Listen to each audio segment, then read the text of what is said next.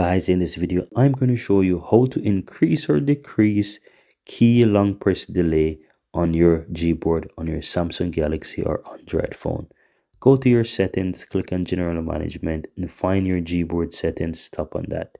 Now you want to click on preferences and scroll all the way down to where you'll find key long press delay. Now if you tap on that you can change the long press delay to make it to 100 millisecond. You can bring it all the way up to 2000 milliseconds. I know that's long but here is where you can always go ahead and change the milliseconds to whatever you want. You can make it as less as possible or as more as possible.